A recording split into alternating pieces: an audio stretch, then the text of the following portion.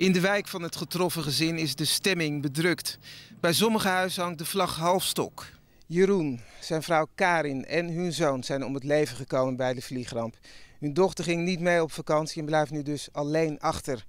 Een onbeschrijfelijk leed. Toen ik de buren even sprak, schoten de tranen hun echt letterlijk in de ogen.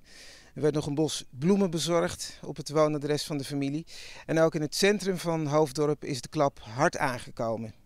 Ja, ik vind het heel triest en natuurlijk een hele foute, hele foute bedoeling natuurlijk, sowieso.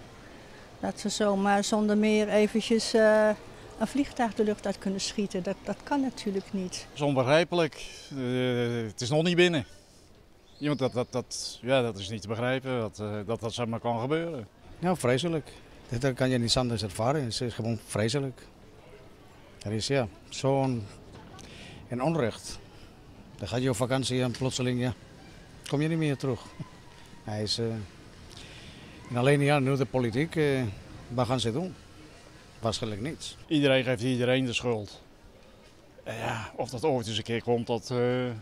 Maar goed, dat, daar hebben die mensen op het ogenblik niks aan. Dat, het is gebeurd. En het zal bij een hoop mensen slijten, maar het blijft wel in je kop zitten voor een gedeelte.